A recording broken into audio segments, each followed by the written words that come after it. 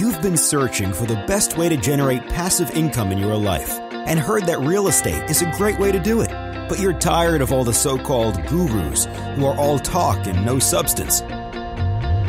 Get ready to celebrate because Kevin Bupp has spent 14 years successfully making it happen.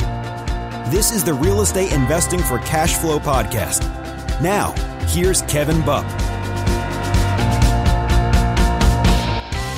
Hey guys, Kevin Bupp here, and I want to welcome you to another episode of the Real Estate Investing for Cash Flow podcast.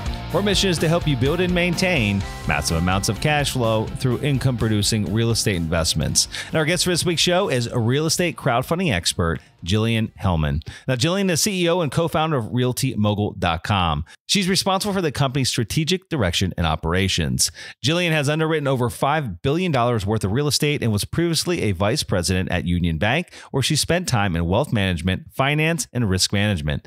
Jilliene is a certified wealth strategist holds a Series 7, Series 63, and Series 24 licenses, and has a degree in business from Georgetown University. Now, you guys, you definitely don't want to miss this show with Julian, where she shares her outlook for the future of commercial real estate post COVID. But more specifically, we discussed and she shares her honest perspective on the hospitality and office sectors and what the future might have in store for those two very impacted uh, real estate asset classes during this pandemic. And so, with that, I'm excited to get on to it with Jilliene. But before we do, just have a few quick housekeeping items. Guys, like I've announced the last couple of weeks, we are live with our third mobile home park investment fund. If you want to learn more about partnering with us on future opportunities, go to sunrisecapitalinvestors.com to download our PPM and offering memorandum. We've been investing in mobile home parks for nearly a decade. It's our core competency, and we kick ass at it. We're really good at it. We've got a strong track record. We've got assets in multiple different states and are phenomenal at the mobile home park investment space. So if you want to join a team of proven operators that know how to find phenomenal off market deals and know how to operate them as well, go to sunrisecapitalinvestors.com to learn more. Moving on here, just want to remind you of the partnership program that we offer called bringkevinadeal.com. And this is where I will pay you upwards of $200,000 for any deal that you bring our way, mobile home park or parking lot, that you refer to me that I end up purchasing. To learn more about this opportunity and to download my deal acquisition criteria guide and to also submit a deal, you can go to the website, bringkevinadeal.com. Again, bringkevinadeal.com. Guys, if you love what we're doing here at the Real Estate Investing for Cash Flow podcast, please review it if you haven't done so already. And also subscribe to the show so that you are notified when brand new episodes come out. Lastly, I want to remind you of the free 30 minute phone call I offer each and every week. This is where on Friday afternoon, I set aside three 30 minute time slots to jump on the phone with you, discuss everything and anything regarding real estate investing. There is no ulterior motive. This is just a way for me to connect. I've been doing it for years. I love it. I love talking to you, and uh, I'd love to help you on your real estate investing journey. Okay, go to kevinbupp.com to sign up for that free call with me. And now, guys, without further ado, I'd like to get on to the part of the show that you've been waiting for, which is our interview with Jilliene Helman. So here we go. Alrighty, guys, it is my honor to introduce my guest for today's show, CEO of Realty Mogul, Jilliene Helman. Jilliene, how you doing today? Doing great. Thanks for having me. Yeah, thanks for being here. Very much appreciate it. And um, just give our listeners a sense of geography. Where are we calling you at today? I'm actually in Florida, so uh, Alrighty. call, calling you live from Miami, Florida.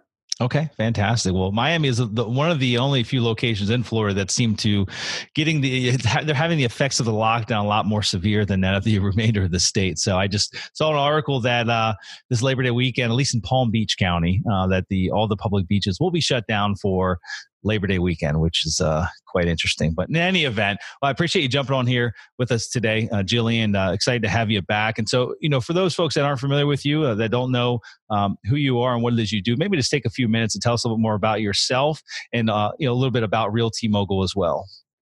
Sure. So I'm the founder and CEO of Realty Mogul, and we're a private equity firm that invests in commercial real estate all around the country. Um, we invest with operating partners who have localized expertise, and we also invest, you know, directly um, into transactions. Uh, we raise most of our capital through crowdfunding. So we have a digital platform, realtymogul.com. Uh, investors can go on there and invest in a, a, whole variety of transactions with us. They can invest in one of our diversified REITs, real estate investment trusts.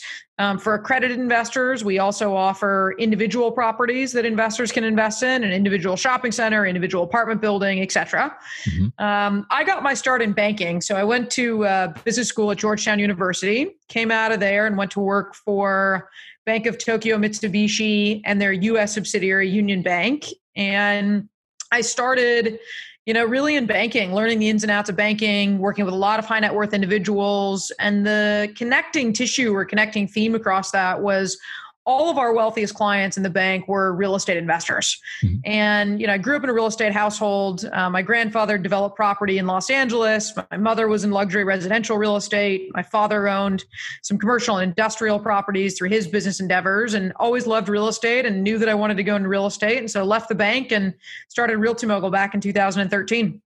Okay, fantastic. And to date, what's the to- total transaction uh, volume that Realty Mogul has uh, placed? I guess you could, from an equity standpoint. Yeah, so we've invested about $2 billion worth of real estate. Um, it's over $550 million in equity. So if you think about, you know, we're placing equity and then there's typically debt on the properties, usually, you know, 70 to 75%. Um, so it's north of $2 billion in real estate. Majority of that has been in multifamily. It's about 65, 70% of our transactions are multifamily. Mm-hmm. Uh, and we've invested in over 15,000 apartment units. So a, a pretty wide swath of apartment units across the country. Okay. And then, you know, given that there's uh, many other different crowdfunding platforms out there, real estate crowdfunding platforms to be more specific, you know, what separates Realty Mogul from, you know, many of the others? Yeah, I think one is optionality. You know, we give investors the ability to in, to invest in a specific transaction or to invest into one of our diversified real estate investment trusts. And the real estate investment trusts have, you know, two different strategies. We have one REIT called Mogul REIT 1 that's really focused on an income strategy. And we have another REIT called Mogul REIT 2 that's more focused on value add multifamily, more of a growth strategy. So if an investor wants, you know, diversified pool, they can get that on our platform. If they want to invest in a specific transaction, they can also find that. Um, we also have a great track record. You know, we've uh, we've been in business now over seven years. Uh, we've had you know 38 transactions go full cycle. So we acquired them, they got renovated, they got resold. Um, so that's been a huge part of building trust and credibility with investors is them actually seeing that you know those deals go full cycle and there's been you know some successes. You know, there's always risk in real estate. We always t- tell investors, you know, if you're projecting 15 16 17% returns i mean that's that's certainly not without risk but i think that we've done a, a, good job of underwriting deals a good job of identifying transactions and, and offering those up for investment from our investors yeah. And what is the long term strategy with the majority of properties? Is it to go full cycle? Is it a, a three to five year horizon, depending on the deal? Yeah, I'd say our average transaction is between a five and 10 year hold. Okay. So on the five year deals, you know, those are more value add. You're going to get in, you're going to renovate, and, you know, you're going to look to get out.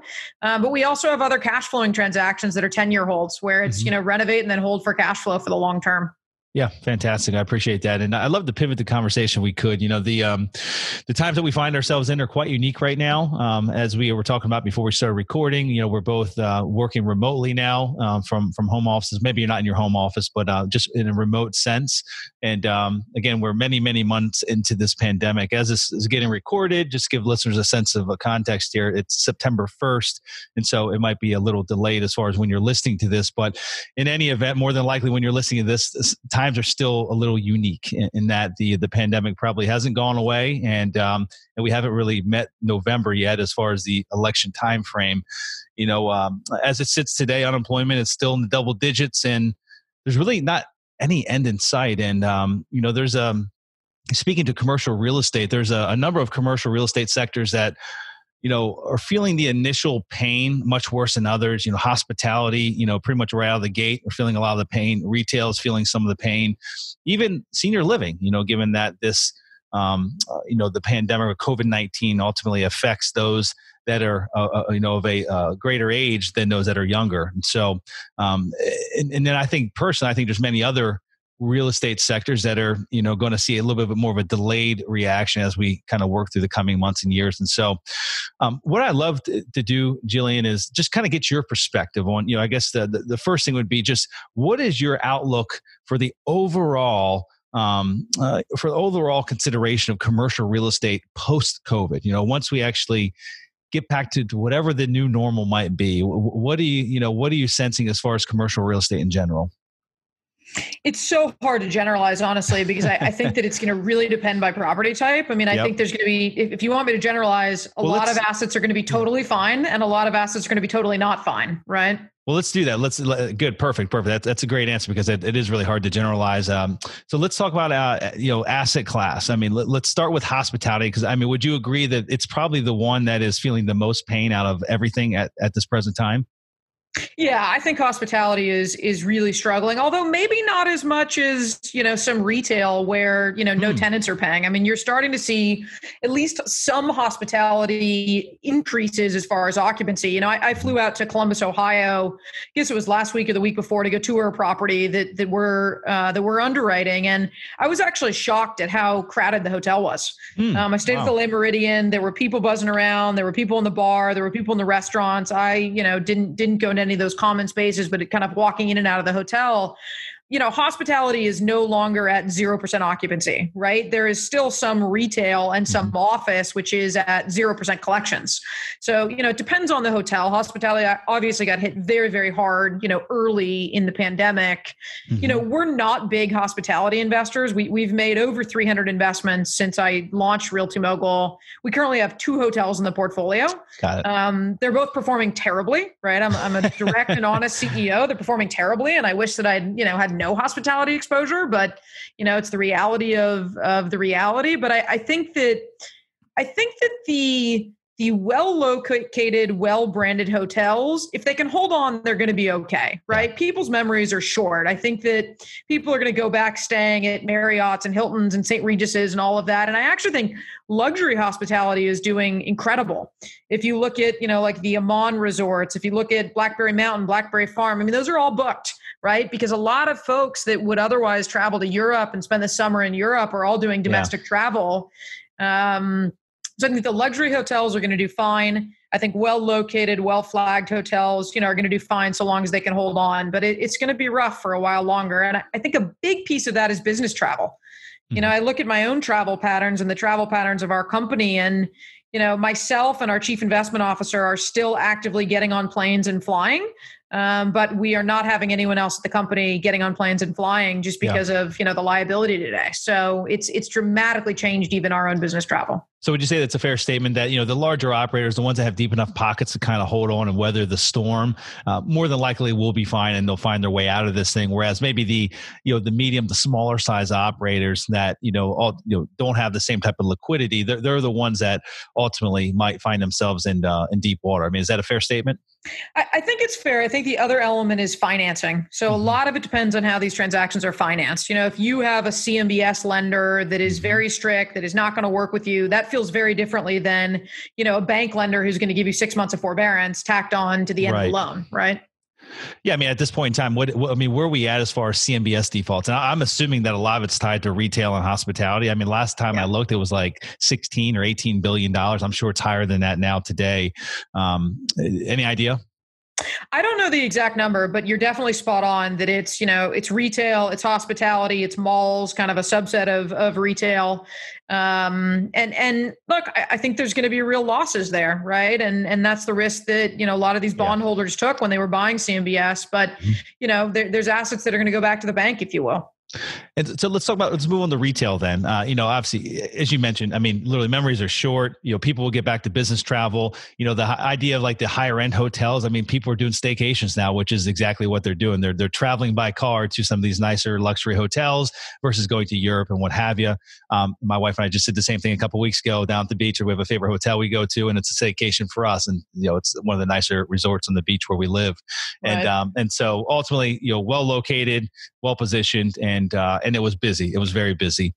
Retail, on the other hand, let's talk about that for a second, and um, you know, kind of what what the future forecast looks like for retail. We already knew that you know retail was uh, trends are changing you know e-commerce is having a big impact on on certain types of retail assets and you know this could have ultimately sped up some of the slower dying strip centers or malls what have you but let's just talk about it overall what are your thoughts on retail yeah, look, retail was in a world of hurt pre COVID, right? We mm-hmm. overbuilt retail in this country. It's just a fact. Now, this recession though i think is different than a lot of the historical recessions and that this is very micro market even even property level specific. I mean we have retail assets in our portfolio where collections are in the 70% range and we have retail assets where the collections are in the upper 90% range. Hmm. so it's very you know market specific very property specific. I mean if you think of you know grocery anchored or pharmacy anchored retail the grocers are, are having a bang out business, right? The pharmacies yeah. are having a bang out business. Now, they typically don't pay top dollar rent, right? Those are usually the tenants that you use to drive people to the center to get top dollar rent from the mm-hmm. other tenants. But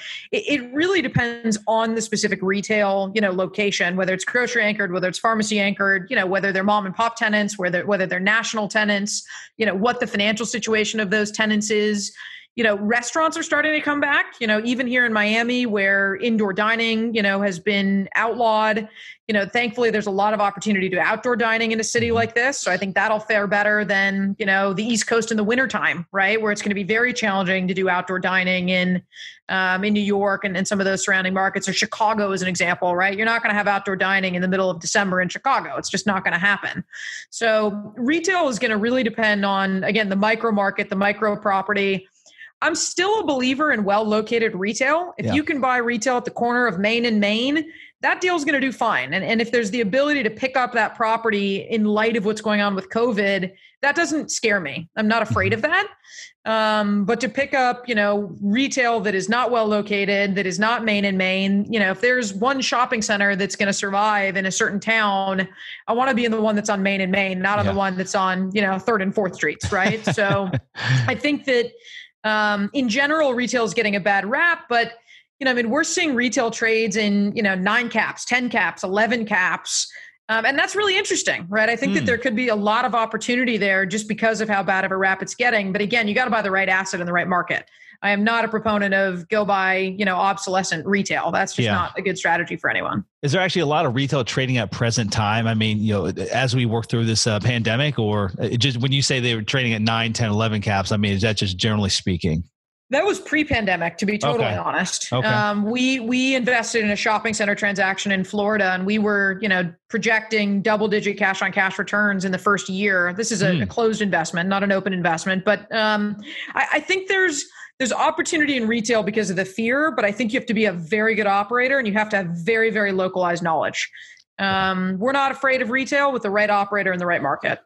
Got it. Got it. Let's talk about red, the redhead stepchild in the room, which is office. You know, I, we're talking about like we're, we're remote right now. Most companies throughout the U.S. Uh, went remote, maybe with a very skeleton crew that have kind of come back into that space. But um, I think a lot of companies have realized that they can be just as productive with their employees working from home, have a much better quality of life. You know, save a lot of overhead expenses on a big office space that might not be utilized any longer. And so, what does that long term projection really look like? On the office segment. And um, you know i think more importantly what do we do assuming that it doesn't go back to normal assuming that you know uh, you know uh, companies only need 50% or 30% of the the space that they might have in the past um, how do we repurpose? Is there is there a way to repurpose a lot of these uh, office assets across the country yeah, look, Office is scary for a number of reasons. I, I, was just reading the news earlier, and Pinterest is paying $90 million to get out of an office lease in wow. San Francisco. Um, but on the flip side, you hear about JP Morgan in New York who's saying we're bringing everybody back to the office, but it's going to be in waves and shifts.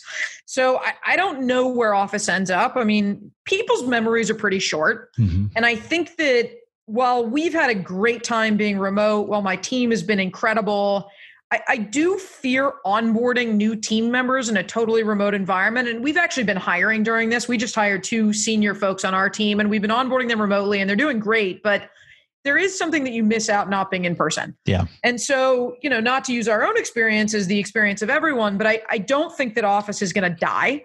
Um, I think that there still is going to be a need for office. And then you mm-hmm. ask yourself the question okay, do companies have a smaller footprint? Or do they have a larger footprint because of COVID? They want to create more social distancing. Ah, and I, I, don't know where we land on that. Um, you got to remember, office leases have long, long terms. Mm-hmm. So it's not like you know all of a sudden there's going to be you know ninety percent vacancy in office. I mean, a lot of these terms are three years, or five years, or ten years, or fifteen years. So It's going to take time for that all to work its way through the system. There, there's also the question of does suburban perform better than urban? Right? As you see people migrate out of cities and there's still a need for offices, do they end up in, you know, suburban offices? Um, you know, we've done office transactions with high quality tenants and we're, we're generating, you know, high cash on cash returns on, on certain transactions. And I think a lot of those tenants stay in place, but there's going to be others who don't. Um, so it, it's hard to say. Again, it's very micro, right? I'm really concerned about the Bay Area. You know, you've already had Twitter come out and say they can, everyone can be remote. You've had Google come out and say, you know, remote at least through next year. You've had Pinterest cancel this big office lease. I mean, the Bay Area is going to get hit very, very hard in office. Mm-hmm. Um, I, I'm similarly concerned about New York. Uh, although New York always comes back, right? Think about after 9 11. Everyone was freaked out. No one's going to want to work in a high rise. No one's going to come back to the city. And yeah. you know, once that sort of flushed out, it it wasn't reality. So it'll be interesting to see how long it takes and sort of where we where we settle. Yeah, no, no, very interesting. I guess at least in the Bay Area, you can say that there's a massive shortage of uh, residential housing. So ultimately, maybe you could repurpose some of those office spaces into residential housing. yeah, I think that's the, the logical thing. I mean, that's yeah. what hotels. We we've been looking at a lot of hotel conversions as well. Hotels to multifamily, hotels okay. to you know micro studios. In fact, I just saw an office to multifamily conversion in Stamford, Connecticut this morning cross my desk. Huh. This was a pre-COVID issue, but they they converted a suburban office into multifamily with some really cool penthouse units. It looks a little funny. It looks like you're going into an office, uh, but the interior units are nice. So I, I could see people repurposing office. Um, I could also see, you know, less office being built.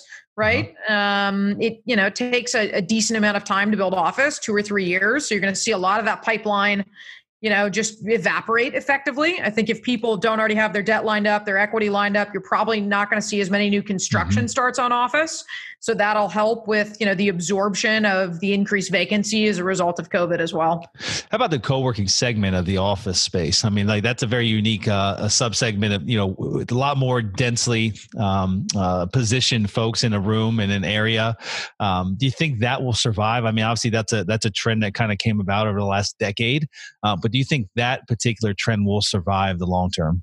I think the concept will survive. Yeah. But I think that the concept will survive through existing landlords. So like we already know WeWork is a terrible business, right? We know Regus is a terrible business. We know all of these co-working companies, you know, whether they were the sexy technology ones a la WeWork or the historical ones, like they're bad businesses, right? They they have asset liability mismatches. They're just bad businesses. But I think that for for some of the bigger landlords to carve off some of their space to have an offering like that i think makes a lot of sense and and probably even more so during covid right they may have to redesign those office spaces but for a lot of office users if they're comfortable working remotely, they're not going to need a full time office, right? There's going to be mm-hmm. flexibility around that. So I think that there's a need for it. And that's why companies like WeWork had, you know, great revenues and great revenue growth, but the business model has to change because you can only, sur- you know, you can't survive in an unprofitable business model. Yeah, no, I agree.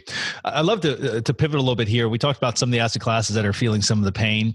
Uh, we didn't touch on senior housing, but that's okay. I want to, I want to uh, flip to the other side here and, uh, you know, multifamily manufactured housing um, and self storage are just a few of the, you know, what I, I, classify as like trophy winners, right? As far as you know, where we're at through this pandemic and, you know, what the collections rates have looked like. But, um, you know, what's your opinion of um, how those asset classes might perform? Or is there going to be any impact on those? Um, once we hit a point in time where the stimulus runs out. Again, we're in the manufactured housing space, so you know we, we do have a number of residents that are unemployed throughout our, our portfolio. We've got 13 states that we own assets in, and uh, um, uh, you know I'm of the mind that probably about 96 percent of them uh, are actually receiving some type of unemployment benefits, which have been substantial, you know, fairly substantial over the past couple of months up until recently. They haven't rolled out phase two yet, but um, uh, we haven't had uh, that much of a downtick in collections. It's been it's been pretty darn good. And I could say I lost many nights of sleep in middle of March as we rolled into April, not thinking that was going to be the case. Um, but everyone's smiling, at least in the multifamily and manufactured housing space. But what are your thoughts long term? Does that last?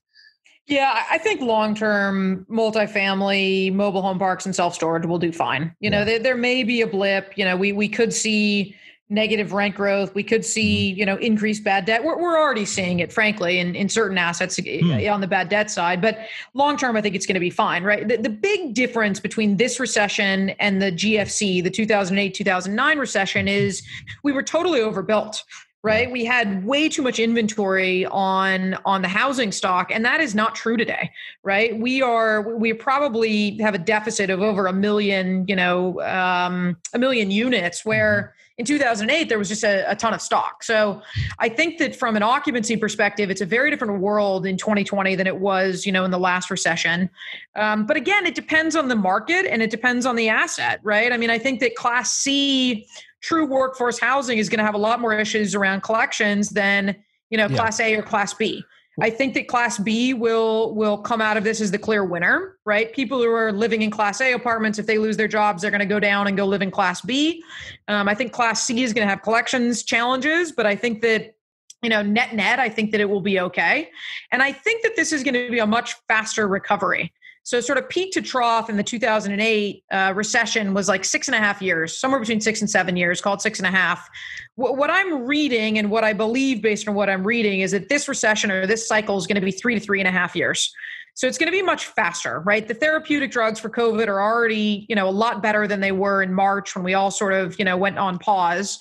Um, you know, I, I think that there will be a vaccine by this time next year, probably Q1 or Q2 of 2021. And I think once that happens, consumer confidence is going to go up. And once mm-hmm. consumer confidence goes up, people start spending money, jobs start coming back.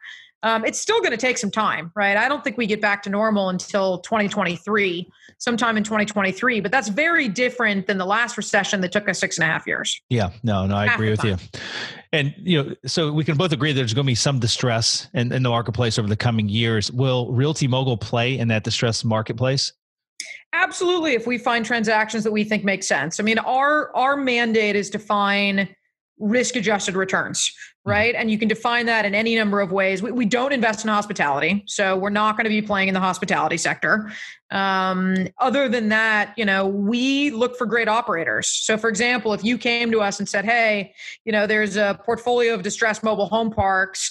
We have experience with these kinds of transactions, and here's the business plan, and we think that makes sense, and we think the risk-adjusted returns make sense," you know, we're more than happy to to invest in that space. Mm-hmm. So, you know, I, I think that there's less distress than people think there is, though. Mm-hmm. Right? I, I, you know, based on our own experience there were some really interesting deals to be had in March, right? When everyone was freaked out about COVID, there was a ton of fear. And I'm not seeing that as much anymore, right? There will be hmm. distress in, in in hospitality. There will be distress in retail. You know, that'll start to play out. I, I don't know that we get true distress in multifamily as a result of COVID. Um, I think that it may bounce back quickly enough that you know most folks can hang on to their properties, especially with the way that lenders are behaving in this cycle. Yeah. You know, lenders in the 08 cycle were foreclosing lenders in this cycle have a heart, right? They're saying, we'll work with you, we'll give you forbearance. You know, no one could have planned for this. It's a virus. It wasn't, you know, mismanagement, financial mismanagement, et cetera, et cetera. So I think that there'll be a slim to, to limited multifamily foreclosures that are really truly COVID related, right? There's always foreclosures that are usually operational mismanagement or over leverage sure. or, you know, lack of proper planning on the capitalization, et cetera. But but true COVID, I think it'll be pretty limited in that sector. Do you feel like the uh, the length of time it takes us to pull out of this recessionary period will, you know, you think whoever gets put in the office in November will play a, a role in that or a factor in how long it takes? Uh, look, 100%, right? And you'll never mm-hmm. know the other side because you're only going to have one person in in office, but I, I, think that, you know, we're we're struggling in in politics today to sit down and have rational conversations. Yeah. Right? There, there's so much division that's happening in government. And and look, I don't I, I don't care which side of the politics that people are on. I just am really gunning for the ability to sit down and have a conversation and to listen, right? Like we we've forgotten how to listen as a country, and that really concerns me, right? Again, like it's good that we have decisive beliefs, right? It's good that there's a variety of beliefs. Um, I think that there's fear in the commercial real estate world around, you know, what Biden and, and the Democrats may do. I think that's probably largely unfounded, other than maybe taxes. You know, I mean, we've been talking about getting rid of 1031 exchanges for decades. It's never happened, right? I mean, there there's there's all kinds of issues that are always concerns and that you know the republicans always say you know this is going to be bad if the democrats are in office. And, and most times again other than taxes that hasn't changed.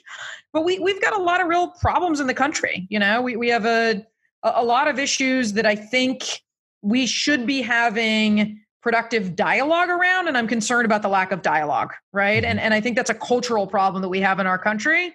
I think that the reality is that the fed is going to behave the way that the fed is going to behave whether it's a democratic or a republican organization yeah. I, I think um, and you know there's this slogan of don't fight the fed right if we keep printing money and we keep pumping money into the economy which i think we're going to do irrespective of which party takes office I think mm-hmm. that's going to drive the recovery. It's not going to be is it the Democrats or the Republicans, you know, and and and the impact of taxes. If the Democrats do come in and they pass, you know, increased taxes, that's going to take a that's going to take a while to play out, right? That's not going to happen immediately. I think that, you know, it's going to take 12, 18 plus months to play out and and really hit people's pockets. So, I don't know that that's going to impact our immediate recovery. Obviously, that has impacts, you know, 18, 24, 36 months down mm-hmm. the line but I think that the Fed is the big player here, and I don't think they behave materially different, irrespective of the administration. Yeah, I agree with you on that. You know, switching the topic over to crowdfunding, I, you know, are there any any big changes uh, to speak of in the crowdfunding space that that our listeners should be aware of? Any any material changes that are either have come down the pike or are coming down the pike that um, are important to know? Yeah, I mean, the only one that comes to mind is the SEC just released guidance on the new definition of an accredited mm, investor. Mm, that's right. Yeah. Um, so historically, an accredited investor was an individual with an annual income above two hundred thousand dollars or three hundred thousand with a spouse, mm-hmm. and a net worth or a net worth over a million. And there was this argument in the industry. I, I, wasn't part of the, the lobbying, but there was an argument in the industry that, you know, what about all of these people who have financial sophistication? What about folks who are CPAs? What about folks who are attorneys? What about folks who, you know, are financial advisors that really understand finance, right? And it's less about how much money they're making and more about their financial sophistication. Mm-hmm. And so the SEC, it's it's launching in like 55 days, but they just announced that if you have a Series 7, a Series 65, or a Series 82, which are all financial um, advisor licenses, that you're now going to be deemed an accredited investor. Now, that in and of itself is not that exciting to me, right? It's it's not that big of a population, but what's exciting to me is that they're acknowledging that sophistication is is is equal to financial success. And so, what I'm hoping that means in the future is that they will also include folks who have a CPA, you know, folks who are certified wealth strategists, folks who are attorneys, um, you know, those types of people who have other designations, which are also indicative of financial sophistication. So it could be good news for you know investors alike and and you know crowdfunding firms like ours alike to yeah. expand that universe of who an accredited investor is because we've been limited, right? We've been limited to strictly you know the highest net worth investors in our country. And when you think about inequality in the country well might that be some small portion of it? Maybe. Right. It's been what probably 20 30 years since they made any adjustments to that definition of what an accredited investor is. It might even be longer than that. I can't recall. I remember re- looking it up at some point but it, it was a, quite a long time. Yeah. Yep well, good deal with Jilliene. This, this, has been a lot of fun here. I appreciate you coming back on the show. And um, how I'd like to round this out is rolling into our golden nugget segment. And you know, you shared a lot of uh, golden nuggets with us already today. But if you had just one final golden nugget of advice or wisdom that you could leave with our listeners that might inspire and motivate them as they progress in their own real estate investing career, uh, what would that one last golden nugget be? Look, one of my favorite quotes is opportunity dances with those on the dance floor. Hmm. you have to be in the game right and and we saw this even with covid right there were a lot of firms that were pulling out of the market you know they said in march we're not writing offers we're on pause you know we're afraid and i think that a, a deal that um, got got the offer was written in march and and now i think that that deal looks like it's being acquired for a very cheap price, right? A very favorable price. Time will tell, obviously, and, and there's risk in all real estate deals. But my point is, you have to stay in the game, right? You have to stay in mm-hmm. the game. Keep writing offers. It doesn't mean that, you know, you have to do every deal, but you have to stay in the game. You want people to know who you are you don't want to go hide in a, in a hole and cower you know just because of covid right? There's lessons to be learned there's deals to be looked at. Even if you personally don't feel comfortable making an investment in the next 24 months i have no problem with that right? We, are not a, a an organization that ever thinks that anybody should invest if they're not comfortable but but learn right? Use that time to yeah. stay in the game use that time to learn use that time to analyze deals to look at transactions to go walk deals to go fly to deals. I mean there's a huge competitive advantage right now for people who are willing to travel. I agree. And that's yeah. not to say that everyone should go get on a plane and travel. You got to make your own determination. But for me personally, you know, I, have made the determination that I am comfortable traveling. Mm-hmm. And so I will get on a plane and I'm winning deals as a result of it right? When you can stand face to face across from a seller and say, I want to buy your property so bad that I just got on a plane and flew to you in the middle of COVID, that gives them a lot of certainty that you're going to close, right? And that you're going to do what you say you're going to do. And, and it's, it's meaningful. So I think you have to define, you know, that own risk profile for yourself as, as far as the health stuff. But opportunity to dances with those on the dance floor. So, you know, keep dancing if you want to keep learning. No, I love it. I mean, you, you make some very valid points there. And again, as it, this, this will probably be about six weeks until this comes out. But um, in any event, I still think we'll be in the midst of it. And I think there'll be still a lot of fear revolving around flying and traveling, what have you. But uh, no, I mean, the same thing over here. I'm, I'm the one in our company that's traveling. It sounds like you and maybe a few other seniors are, um, are traveling within your company, but I'm the one that's traveling. And there's lots of other folks in our industry that aren't. And uh, we've won a few deals because of it during these, uh, um, very uncertain times. So, no, great point that you make there. J- Jilliene, it's been awesome having you back on the show. Really appreciate you coming on, folks. If you want to learn more about uh, RealtyMogul and, and, and, all the offerings that they have, you can go to their website, realtymogul.com. And so, Jilliene, that's all I have. Thank you so much Thanks. for coming back. It's been a lot appreciate of fun. It. Alrighty, guys, that's all we have for this week's show. And so, until we meet again next week, this is your host, Kevin Bupp, wishing you huge success. You take care. Congratulations! Now you've got more of the best tricks of the trade in building massive amounts of passive income from real estate. For more amazing resources, visit realestateinvestingforcashflow.com. And we'll see you next Monday morning.